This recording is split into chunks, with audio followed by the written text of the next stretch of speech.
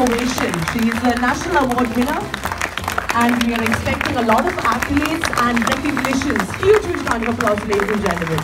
Here she is with us. Yes, she's quite overwhelmed. I can hear her going. Uh, can you say a few words for all your fans on behalf of Mammukka? They're all waiting to hear from you.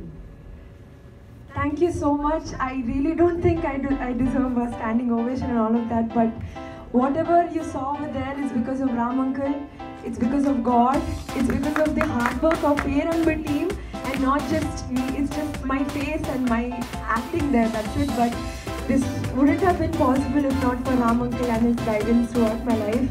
And uh, Mammootty Sir Oda, I got an amazing opportunity to act, and uh, I think I can't ask for more. And uh, of course, as I've told before, he's wearable and he's, he'll remain wearable, uh, I don't know, for a lifetime.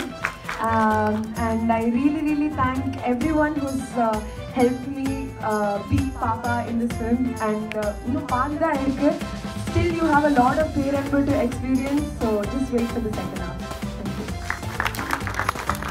Thank you. Thank you. And uh, now we have a small cake cutting ceremony. Uh, I'd like to. Huge round of applause, ladies and gentlemen. It's a big moment for this wonderful actress. This is just the beginning for her. So let's encourage her with our good words, with our motivation, with applauses.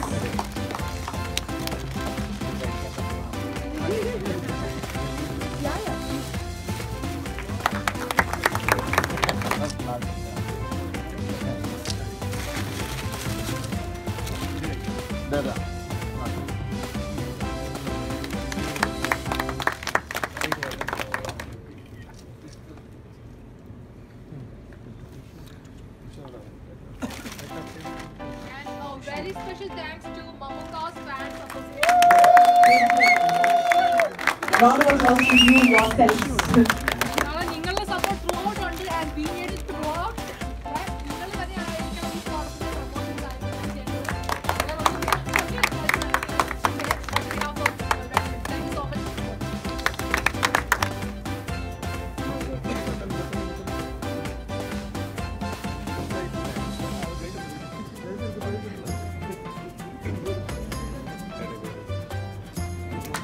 On behalf of the entire association, we wish her all the very best and a very, very bright career, very bright future.